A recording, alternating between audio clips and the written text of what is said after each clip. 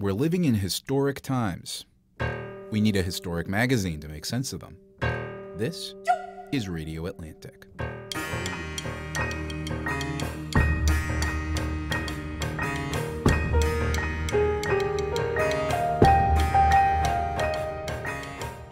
I'm Matt Thompson, Deputy Editor of The Atlantic. I'm Jeffrey Goldberg, the editor in chief of The Atlantic. Alex Wagner, I'm a contributing editor at The Atlantic. Every week, the three of us will bring you conversations about what's happening in our world. And just as important, we'll talk about how things became the way they are and where they're going next.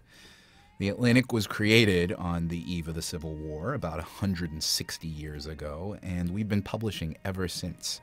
In that time, we brought you some of the leading voices of every generation, and now we'll have those voices in conversation with me, Jeff, and Alex every week on Radio Atlantic.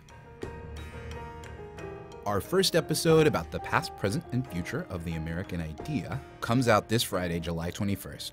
Jeff, Alex, and I will be joined by Atlantic journalists David Frum and Molly Ball. Here's a preview of what you'll hear when you tune in.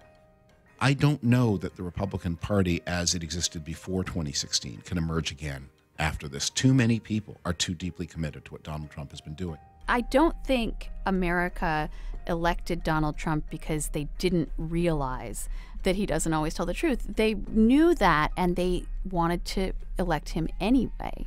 One of the questions I, I worry about a lot is to what extent is the President of the United States now in the chain of command? Are the military acting independent of his orders?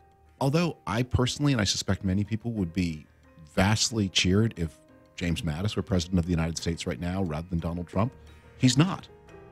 We'll also hear from Jon Batiste, the legendary jazz musician and the band leader for The Late Show with Stephen Colbert, who will talk about his interpretation of our theme song, The Battle Hymn of the Republic, which you're listening to right now.